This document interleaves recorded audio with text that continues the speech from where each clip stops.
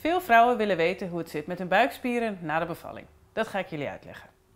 Wanneer je zwanger bent, groeit je kindje in je buik. Je baarmoeder groeit en op een gegeven moment gaat dat drukken tegen je buikspieren. Dan gaan je rechte buikspieren, die hier van boven naar beneden lopen, wijken om ruimte te maken voor die groeiende baby. Tussen de rechte buikspieren zit een peesplaat van het bindweefsel, dus de linea alba. En die rekt eigenlijk op en de spieren rekken ook op. En alles wordt groter en wijder voor die enorme buik die hier gaat groeien. Op een gegeven moment, na de bevalling, is de inhoud van die buik weg. En alles komt, als het goed is, weer terug op zijn plek zoals het hoort. Alleen dat gebeurt niet altijd en ook niet altijd even snel. Om te weten of jij alweer kunt gaan uh, trainen en je rechte buikspieren specifiek trainen, is het belangrijk om te weten hoe het herstel is van je buikspieren. Dat kun je zelf controleren en dat ga ik jullie nu laten zien hoe je dat kunt doen. Je mag komen zitten op de grond.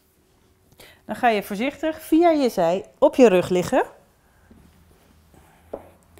Lig ontspannen op je rug. Til je voeten op of til je benen op, voeten plat, knieën gebogen. Dan wil je weten wat de situatie is van die peesplaat. Die loopt hier van je borstbeen helemaal naar beneden naar je schaambeen. Dat kun je het beste voelen zonder kleding. Dus je tilt je shirt wat op. En um, veel vrouwen hebben een hele hoge broek, maar dan voel je niks. Dus je broek iets omlaag. En dan ga je voelen van boven naar beneden wat de situatie is. Eerst gewoon liggend. Dan voel je of het hier zacht is, of het stevig voelt. Hoe voelt het rondom je navel? En dan ga je je hoofd en je schouders iets optillen.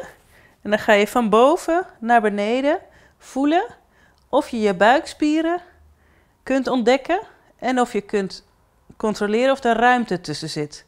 Vaak zit de meeste ruimte rondom de navel. Je moet ook echt een beetje duwen. Eventueel til je je hoofd nog wat hoger op. Want wat je eigenlijk doet is een soort sit-up waarmee je je rechte buikspieren aanspant. En doordat je ze aanspant worden ze hard en kun je ze voelen. En de ruimte daartussen wordt dus niet hard. En dan voel je of er ruimte is. Waarschijnlijk kan je, als er ruimte is, zal dat in het midden zijn.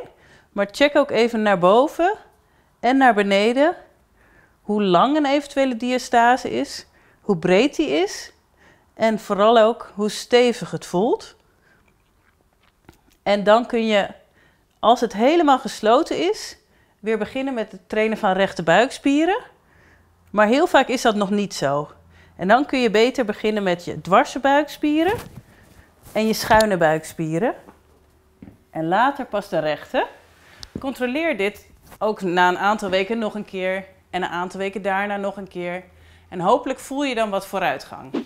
Heb je een diastase of twijfel je of je er eentje hebt? Ga dan naar geregistreerde bekkenfysiotherapeut.